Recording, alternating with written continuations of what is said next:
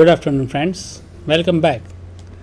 Uh, we have seen one very interesting uh, techniques of uh, solving transportation problems. Now, today we have with us in our studio Professor Rajesh Thakkar with me, and now he is going to talk about uh, another very interesting technique of operation research, namely uh, solving assignment problems. Means how to assign jobs to different uh, people, I mean workers or resources and that now I request uh, Professor Rajesh Thakkar to deliver this interesting talk of uh, assigning jobs to different people. Sir, please. Thank you very much sir નમસ્કાર એવું કહેવાય છે કે સૌથી સહેલું કામ એ છે કે બીજાને કામ આપવું સામાન્ય રીતે એવું મનાતું હોય છે કે બીજાને કામ આપવું એ બહુ સહેલું એમાં આપણે કાંઈ કરવાનું નહીં કામ બીજા કરે આજે આપણે એ જોવાનું છે કે લોકોને કામ આપવું પણ ઘણું અઘરું છે. જો સારી રીતે આપવું હોય તો. So the question is how to assign jobs to the people in a way that it is the most efficient way of doing so આજનો આપણો ટોપિક છે અસાઇનમેન્ટ પ્રોબ્લેમ્સ આપણે મેથેમેટિકલી જોઈશું કે લોકોને કામ આપવાનો સૌથી સહેલો રસ્તો એ છે. ખાસ કરીને પ્રિન્સિપલ્સ માટે આ બહુ કામની વાત છે. Sauti Pella, we'll start with the definition of uh, assignment problems. Basically, what do we mean by assignment problems? So the definition comes on a slide. You can see Basically, we can see on the slide that assignment problems deal with the best choice of assigning tasks to man, machines, etc. We'll take a note that in assignment problems, the normal assignment is made on one-to-one basis. The meaning is that one job will be given to one man or one machine. So it, it's just little different than transportation problems this way. Transportation પ્રોબ્લેમ્સમાં એક જ origin પરથી ઘણા બધા destinations ઉપર material મોકલી શકાતું હોય છે એસાઇનમેન્ટ પ્રોબ્લેમ્સમાં આપણે વન ટુ વન બેઝિસ પર અસાઇનમેન્ટ કરવાનું છે so first of all will love to see what is an example of it so we go to the slide to see what is an example of it so let us talk about some X Y Z institute of commerce say Uh, this institute has three persons Mr. A, Mr. B, and Mr. C. And uh, their corresponding efficiencies are mentioned over here. Uh, the first is the typing speed. They have different typing speeds. The first, Mr. A, has 45 words per minute. His communication skill is needed. આજકાલ આપણી ઇન્સ્ટિટ્યૂટ્સમાં આપણે UGC અને બીજી ઘણી સંસ્થાઓ સાથે communication કરવું પડતું હોય છે his communication skill is sixty percent and at the same time his accounting skill is needed. It is say 52% uh, mr b is a little poor in it. His speed is 40 words per minute. Uh, communication skill has efficiency 55% and uh, accounting skill is 48% and that poor mr c he's just uh, 25 words per minute 45% communication skills. And accounting skill is still less 40% uh, the question is uh, which person should be given which job આપણી પાસે Here we are uh, assuming that um, every person is capable of doing any of the job. of course That is one important of thing. course of Yeah. course so it's a matter of uh, efficiency level everyone can do everything Yes. but the question is of efficiency level so once again we look at the slide just to review it uh, we have three persons we can see that mr a is the best in everything but we cannot give all the three jobs to mr a similarly mr c is not so good in anything okay પણ આપણે એને નોકરી આપી છે કામ પણ આપવાનું છે okay so the question is how to do this today's assignment problems will give us a way to decide what person should be given what job so that we can do it in the most efficient manner so we go to the next slide which is talking about Hungarian method. This method is very efficient for doing assignment problems. And we'll start with example number one. So this is our example one. There are five people and five jobs. Uh, we can see uh, the meaning is very simple. Five men are A, B, C, D, E, and five jobs are one, two, three, four, five. Okay. Now the table says that if person A is doing first job, he will take two hours to complete the job. But the same person, if he is doing the second job, he is taking a lot of time, nine hours to complete the job. He is little better again in job three, only two hours. Not good in activity number four, taking seven hours. and quite good in again fifth activity, just taking one hour to finish it. Okay, uh, similar for B, 6, 8, 7, 6, 1. This is the data and for all others. We can see that all men are too good in the fifth activity. All men can finish the fifth activity in one hour. So, you give any man activity number 5 and they are equally efficient. So, there is no choice in it. So, first, uh, fifth duty is not a problem. The problem is the first four duties. Uh, now, let us uh, apply our common sense to say this. By the time you observe this, we are going to see the same data on blackboard. So, this is reflected on blackboard.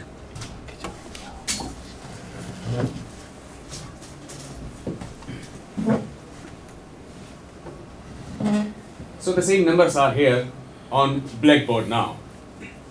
Once again, five can see on the men, five jobs, and this is the data.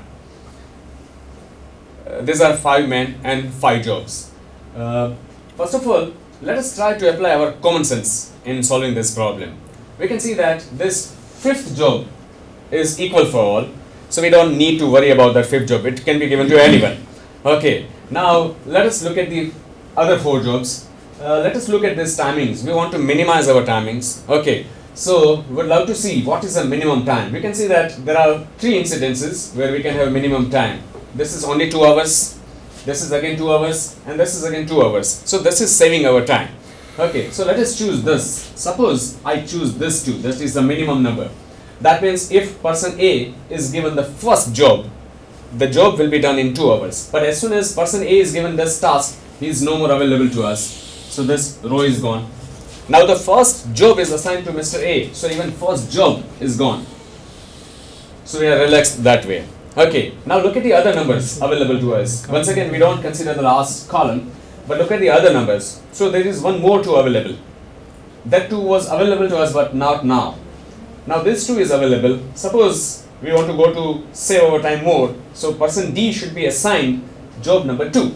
As soon as we assign that, okay, D is not available now for any other work.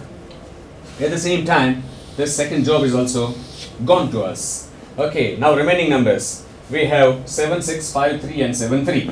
Uh, 3 is again minimum. Where is the tie again? So let us do one thing. Let us give C this work. So C is not available to us and of course this job is not available to us. Okay, finally we are left with 7 and 3. Okay, again we'll assign this 3. Okay, but we can't do that actually. This Yeah. 3 is gone. Okay, so this 3 is gone actually. Uh, remaining numbers are so first row is gone, A is not available to us. Okay, B is available to us. Uh, but again, one first column and second column are gone. So this 7, this E is also not available to us. Or is it available? It is. Okay, so this is 5. So this 5 is available to us. So what we can do is assign 5 over here. So E goes to 5. And this is also gone. So this is the summary. First man should do the second job. Okay, uh, C should do this fourth job. D should do, do this second job. E should do this. What remains? Oh, it is not available. No, it is not available. Yeah. Okay, so five available. is not available. So seven is the only choice, is it? Okay, this seven is, I suppose, available. B is available mm -hmm. to us. Okay, so this seven should be given to.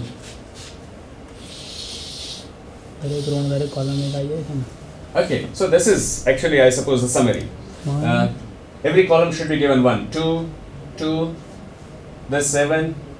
Okay, this three. Four Yes. people are given jobs, and once four people are given jobs, fifth uh, can be uh, selected Given. automatically. Okay, so A takes second job.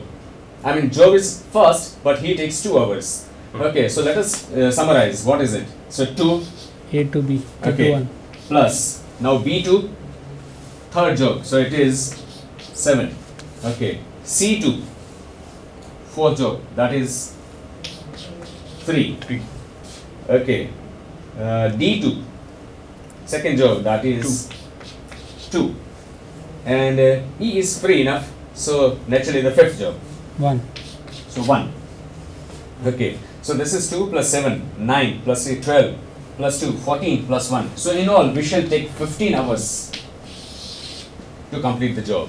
So if we apply our common sense, try to minimize our timings, then we'll be able to do it in 15 hours. So this is uh, not mathematics, this is common sense. Now again, we go to the same data, we'll see the same data on the slide. So we go to, go back to example number one on our PowerPoint presentation. So this is example number one. You can see on So let us go to the slide. You can see it on the slide. Yes. So this data on a slide.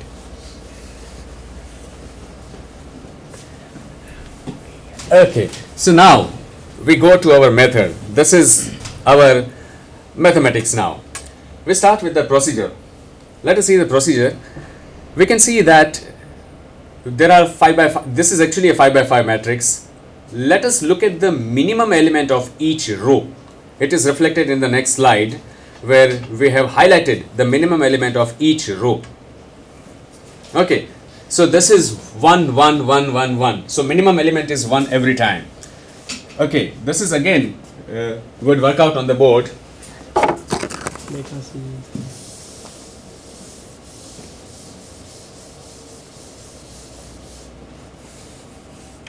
So our first row has uh, minimum 1. If we subtract 1 from all, okay, what are the numbers available to us? So the original row was, let us write the original row. Sir, the original row is 2 9 2, 9, 2 7 2, 7, 1. 1. Okay, and the minimum element is this 1. What we do is we'll subtract the minimum element from this particular row. So we'll take minus 1, minus 1, minus 1, minus 1, and minus 1. So the resulting numbers are 2 minus 1 is 1, this is 8, 1, 6, and 0. That is about the first row. Okay, the second row, original row is 6 okay, so B row is 6, 8 8, 7 7, 6 6, 1. 1. Again, the minimum element is 1, so subtracting 1 from all. Minus 1, minus 1, minus 1, and minus 1. So, resulting number are 5, 7, 6, 5, 0. The third row 4 4, 6 6, 5 5, 3 3, One. 1. Again, minimum element is this 1. Subtracting this 1 from everyone. The resulting number are 4 minus 1, 3, 6 minus 1, 5. This is 4, 2, and 0. Okay. The fourth row 4 is 4 2 4, 2 2, 7 7, 3 3, 1. 1. Again, 1 is minimum. If we subtract 1, Three. 4 becomes 3, 1 2 becomes 1, 6 6, 4 2 2, 0 and 0. And the last row 5 is E. Hmm. Okay, the original numbers are 5 5, 3 3, 9 9, 5 5, 1. 1. Once again, the minimum is 1. So, if 1 is subtracted, 5 becomes 4, 4 3 becomes Two, 2, 9 becomes 8, 5 becomes 4, and 1 becomes 0. Okay, this is the step number 1 reflecting in the next slide. So you can see in the next slide that these are the reduced numbers. Okay, so the reduced numbers are the first row is 1, 8, 1, 6 6, 0 0, 5 5, 7 7, 6 6, 5 0 3 5 4 2 0 3 1 6 2 0 and 4 2 8 4 0 so this is our as you can see on the screen this was our step number 1 yes. Subtracting minimum element of each row from that particular row. So if you do that this is our first step done. We step on to the second one that is step number 2 what we do now is subtracting minimum element of each column from that column. So again let us look at the board. If we look at the first column okay the minimum element is 1 we are doing the same process column wise so the minimum element is 1 if minimum element of 1 is 1 1 is subtracted from everywhere. Okay look at the second table. Second column rather. Again 1 is minimum. So subtract 1 from that column in the third again 1 so subtracting 1 from all. In the fourth we have a change. Minimum is 2 now. So minus 2 minus 2 minus 2 minus 2 and minus 2 and uh, of course minimum is 0 so 0 is subtracted so it keeps the same. So this is step number 2 we did the same process for columns what we did earlier for the rows. So the new numbers are available to us in the slide number slide showing step number 2 so these new numbers are we can read it again the numbers are 0 I'm sorry, 0, Seven. 0, 5, 0 5 0. 0 second Four- is 4, 6, 5, 4, 0. third is 2, 4, 3, 1, 0. 2, 0, 5, 1, 0. And last one 3, 3 1, 1 7, 7 3, 0. that's it Okay. So this is the end of step number two. A very simple process, simply subtraction. Okay, so the same table on the board now. Uh, we go to step number three. What we do now is we would love to actually we can see that we have so many zeros now in our table. Uh, each row has uh, at least one zero and each column has the same at least one zero available to us. Now we would like to cover this is a dramatic turn in the process we would like to cover all these zeros by deleting rows and columns. We would love to see that we need minimum number of rows or uh, minimum number of lines, Lines. horizontal or vertical lines to cover all these zeros. If you look at this, uh, the first and foremost